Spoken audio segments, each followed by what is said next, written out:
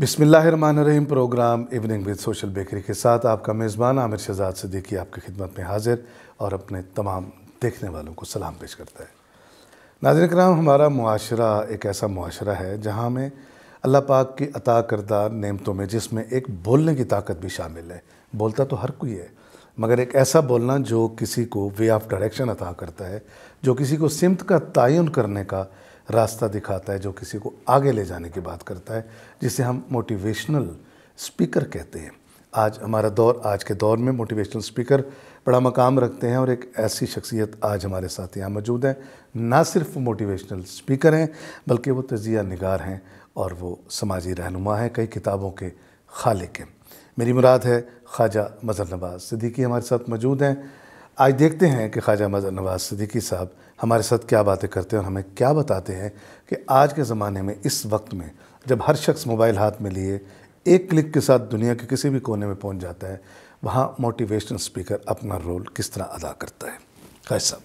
अस्सलाम सर। अस्सलाम खुश आमदीद। वेलकम। खाई साहब आपको देख के मैं बड़ा खुश होता हूँ। बहुत शुक्रिया सर। उसकी एक वजह है। जी। एक तो आप वो काम कर रहे हैं जिसकी माशरे की असल ज़रूरत है। यानी इसलाह माशरे से मुराद नाली थड़ा बनाना नहीं है सिर्फ़ इसलाह माशरा से मुराद जहन साजी है। आप हमारे नौजवानों के हमारे बच्चों के हमारे आने वाले नस्ल का जहन बना रहे हैं हम्म। अच्छाई की तरफ़। ये बहुत बड़ा काम है। मेरे लिए खुश होने का इससे बड़ा और क्या मकाम है कि मेरे सामने एक ऐसा फ़र्द आज इवनिंग विद सोशल बेकरी में मेरा मेहमान है जो जहन साजी कर रहा है। सो मैं आपको बहुत खुले दिल से खुश आमदीद करता बहुत शुक्रिया सर जजाकल्ला खासा कुछ बताइए क्या कर रहे हैं? आमिर शहजाद सदीकी साहब मैं सबसे पहले तो आपके चैनल का और इस प्रोग्राम की कमेटी का मुंतजमीन का शुक्रिया अदा करता हूँ कि मुझे यहाँ गुफ्तु के लिए सहल समझा और बुलाया मदू किया। अल्लाह ताला आपको जजा खैर दे। देखें आज का जो दौर है हमेशा से ये बात हम हर नए दौर के लिए कहते हैं कि नफसा नफसी का दौर है। आज मुकाबला पहले से ज़्यादा बढ़ गया है चीज़ें बहुत ज़्यादा हो गई हैं दुनिया जो है वो डिजिटल वर्ल्ड बन गई है। और जहनों का मुकाबला हो रहा है सोचों का मुकाबला हो रहा है और दुनिया मुकाबले की रफ्तार में रेट रेस लगी हुई है हम्म। आगे बढ़ रही है। ऐसे में ज़रूरत है कि हम माशरे में अतदाल और तोज़ुन की बात करें हम्म। मुस्बत सोच की बात करें मुस्बत तर्ज अमल की बात करें और लोगों की जहन साजी इन इस अंदाज में करें कि हमारा जो माशरा है वो एक कलीदी माशरा हो एक तोज़ुन वाला अतदाल वाला माशरा हो और यहाँ के लोग पढ़े लिखे भी हों बाशूर भी हों तरबियत याफ्ता भी हों पाकिस्तान में अफसोस के साथ ये बात कर रहा हूँ कि हमारे यहाँ तालीम की आवाज़ तो किसी न किसी तरह किसी न किसी तौर पर बुलंद होती रही है तरबियत की यहाँ बात नहीं हुई। हम्म।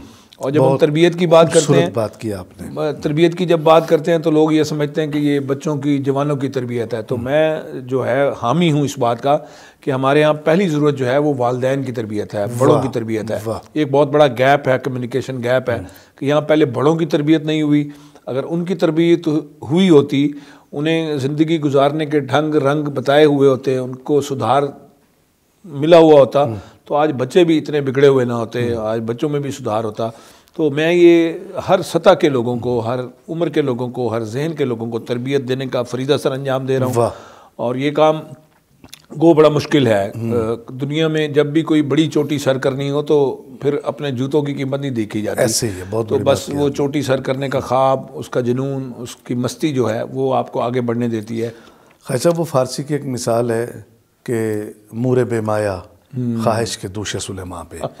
कि एक कम अकल चूंटी ख्वाहिश करती है कि मैं सुलेमान पहाड़ के हाँ, कांधों पे चढ़ जाऊँ। खूबसूरत मिसाल है मगर क्या वो सफ़र का आगाज़ नहीं करती? भले रास्ते में मर जाती है हाँ। गिर जाती है। हाँ, ये एक अलहदा बात है मूरे बेमाया जो कहा गया हाँ, बेहसीत चूंटी कहा गया इसमें देखें हम जो है जो हमारा काम होता है अभी आपने शुरू में आगाज़ में ज़िक्र किया उसका हम्म। हम जैन साजी करते हैं शख्सियत साजी करते हैं किरदार साजी करते हैं ये वो काम है जो अशद ज़रूरत है जो वो काम है जिसकी जो इन कामों को करने के लिए अल्लाह ने अंबिया की बेसत की चुन लेता अम्बिया कराम अल्लाह को भेजा लेता है और वो तस्के के लिए आते थे। बिल्कुल वो लोगों के तस्के के लिए आते थे लोगों के सुधार के लिए आते हाँ। थे उस वक्त सोच को पाकिजा करते थे।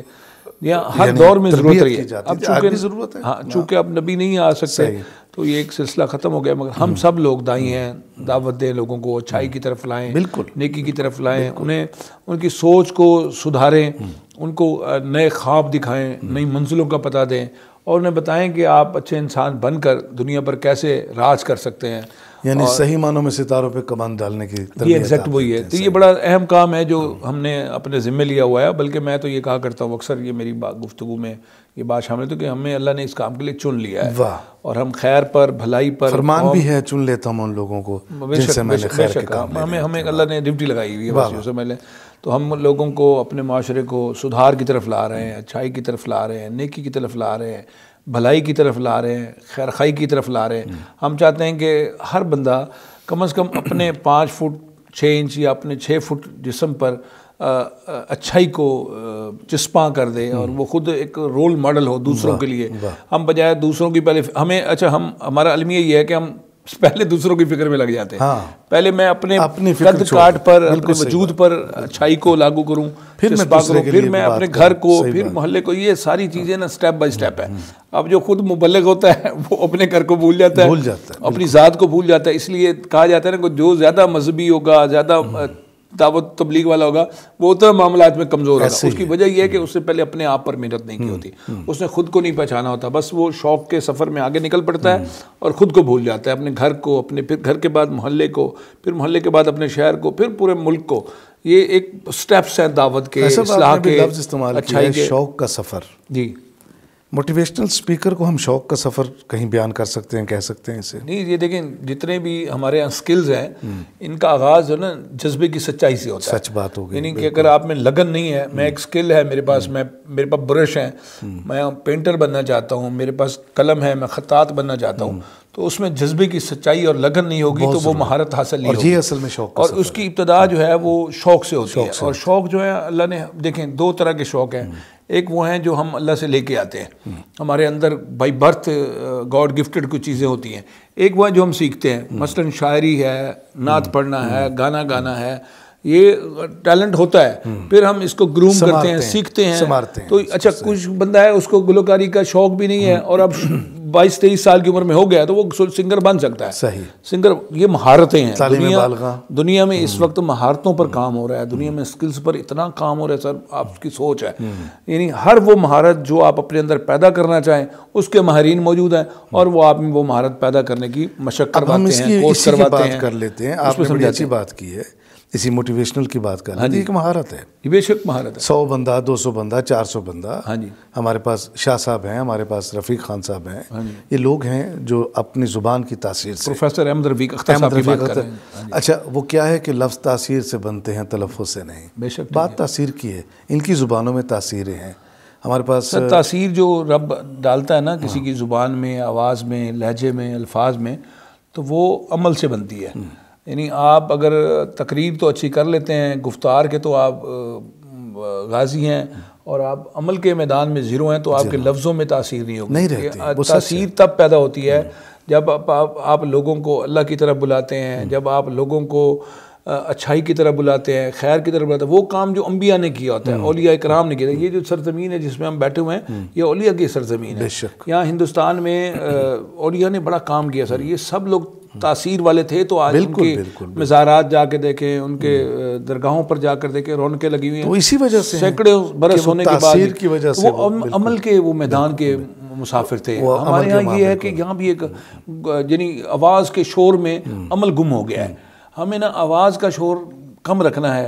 आवाज़ को धीमा रखना है अमल को ज़्यादा यानी यहाँ ना एक्शन कमज़ोर पड़ गया है। आवाज़ ऊँची लाउड हो गई है तो हमें ना एक्शन पर अमल करना जो अल्लाह का रास्ता है ना ये जो सच्चाई का रास्ता है या जो अच्छाई का रास्ता है वो अमल पर उकसाता है। यानी कि आप हमारे नज़दीक बेहतरीन हमारी रोल मॉडल जो पर्सनालिटी वो रसूल वसल्लम है रसूल वसल्लम की ज़िंदगी का मुताला करें वहाँ वाज कम है है, नसीहत कम है खिताब कम है अमल ज़्यादा है। आपने अपने अमल से अपने आप को बेहतरीन का, सिपल सलार बताया बेहतरीन खामद बताया बेहतरीन बाप बताया बेहतरीन दोस्त बताया। यानी आपकी ज़िंदगी अमल से भरी हुई है। आपका गैर मुस्लिमों के साथ सलूक देखें कितनी नरम दिली कितनी अफदर गुजर कितना ईसार यानी इंसानी ज़िंदगी जो है ना, ये अल्लाह का तख्लीक का मनसूबा है। वो ये है कि इंसान नफरत से पाक हो उसके दिल में किसी के लिए नफरत ना हो।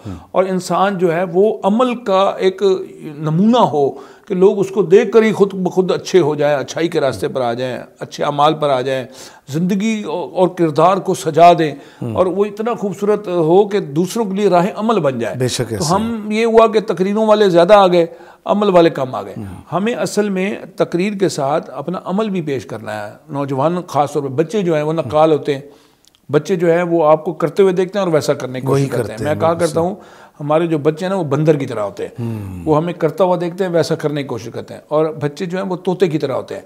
वो हमें जैसा बोलते हुए देखते हैं सुनेंगे वैसे वैसे सुनेंगे वैसे वो बोलेंगे। हमें अच्छा बोलना तो इसलिए हमें अच्छा हमें अपनी बातों से किरदार यानी आपकी बात और आपका किरदार दोनों मैच करते हो। बिल्कुल कोलो फेल का तजाद ना हो आप। यानी आप तुम वो बात क्यों करते हो कुरान पाक में? हाँ, बहुत ज़रूरी है। तुम वो बात क्यों करते हो जो करते नहीं? करते हमें ऐसे लोगों की ज़रूरत है ऐसे स्पीकर्स की ऐसे पब्लिक स्पीकर मोटिवेशन स्पीकर मुबलगिन मोजीन की ज़रूरत है जिनका जिनकी बात और जिनका अमल एक हो। बिल्कुल तब माशरे में देखें रिज़ल्ट कितना आएगा। इसलिए आप, आप किसी बड़े मुकर को लोग सुनते हुए कहते हैं छोड़ो यार ये खुद तो अमल में यूँ है। ये खुद तो इसकी मुखालफत करता है इसके अमल इसकी मुखालफत करता है।